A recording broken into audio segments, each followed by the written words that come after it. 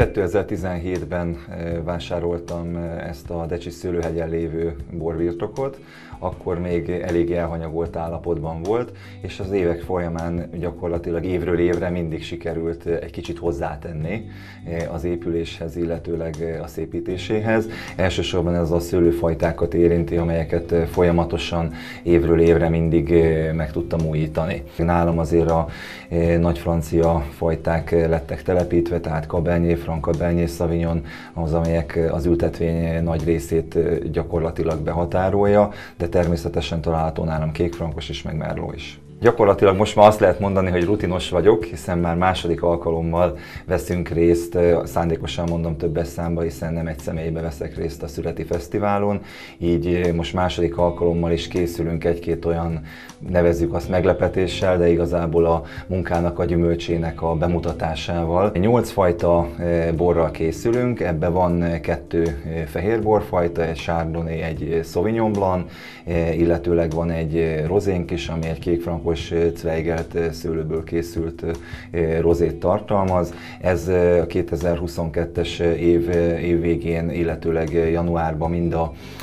Újbor Fesztiválon, mind pedig a Sajt Fesztiválon ezüstérmet szerzett, már mint a rozé. Ezen kívül idei évben ért azért a pincészetünket egy nagy siker is, hogy a Szexárdi borversenyen aranyérmes borunk lett a Kabányé Fran, ami amúgy is a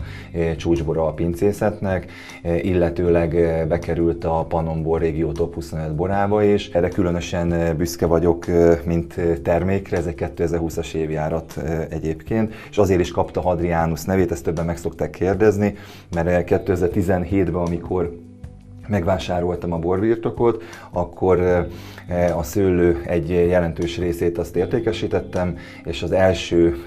igazából lévő saját szüret és borkészítés az pont egy Cabernet Franc lett, és akkor már eldöntöttem, hogy a fő csapás iránya gyakorlatilag az egész borászatnak a Cabernet Franc köré épül, és ezáltal, amikor kitűztük az irányt, hogy mégis milyen arculata legyen a borászatnak, akkor az ókori Rómára esett a választás, így lett a borászatunk borunk neve ugye Aliszka borászat. Ez az ókori Rómára vezethető vissza ez a táborhely kifejezés, amikor a római csapatok itt állomásoztak vélhetően ebbe a térségbe, tehát Báta, Székőcsény, eh, Decs, illetőleg Szexárd területét értjük alatta. Azon belül is ugye a Szexárdi eh, nem csak hogy borvidéket, hanem a Szexárdi hegynek a vonulatát. És akkor azért eh, tűztük zászlónkra azt, hogy mutassuk be egy kicsit mégis milyen ez a térség, milyen az ókori Róma,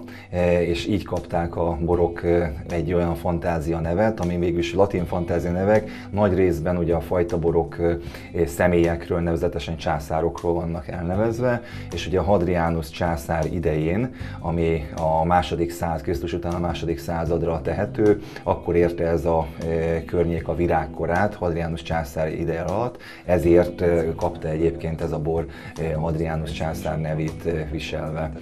ezt a nevet, úgyhogy ezért is most már egy pluszban remélhetőleg fölnövünk a császárhoz, és a császár múltjához és történelméhez, úgyhogy ezt a bort mindenképpen visszük a fesztiválra, és van még két vörös házasításunk, az egyik Aura névre hallgat, az egy könnyedebb